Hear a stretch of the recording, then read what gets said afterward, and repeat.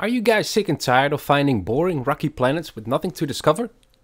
Well then keep watching this video and I will explain how you can increase your chances of finding those lush planets with the rarest resources.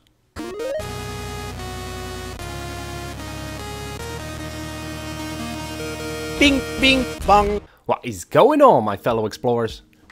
We all know that No Man's Sky is randomly generated, so to say this method will always work is a lie. But what if I tell you that there are four different kind of star systems and each one has its own type? With that I mean a type 1 star is gonna have the smallest chance to have a paradise planet with rare resources, where a type 4 star gives you the biggest chance for that happening. So let's look at the galaxy map here and show you how to spot the best stars. You guys probably already noticed that there are four different colors of star systems to choose from. We have yellow, red, green and blue stars. When you just start out and you fix your hyperdrive, you can only go to the yellow stars. This is a type 1 star, so a low chance of finding anything good. As you upgrade your hyperdrive you will be able to warp to a higher type of star. So the red star is a type 2, where you need the Sigma warp reactor upgrade. For the green stars, type 3, you'll need the Tau warp reactor and for the blue stars, type 4, you will need the Theta upgrade. This means without these upgrades you won't be able to warp to a higher type star system. If you have trouble finding these upgrades you can get them from various crash ships that you encounter on a planet.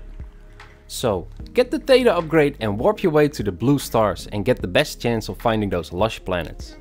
A little side note, the path to the center will only stop on the yellow stars. As you upgrade your hyperdrive you will be able to travel much more distance than the path to the center allows you. In other words, explore and find your own way to the center. No Man's Sky is all about the journey and discovery and no one has the same experience. I still love this game after playing for 30 plus hours and I still get a kick of entering the atmosphere.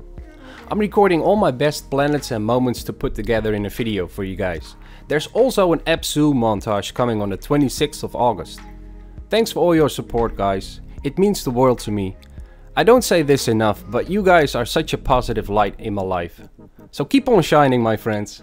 My name is Bartje and if this video was any use to you, drop that like, cause it really helps me out. I will see you in the next one.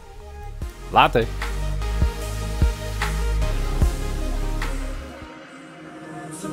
Sitting on this rooftop thinking about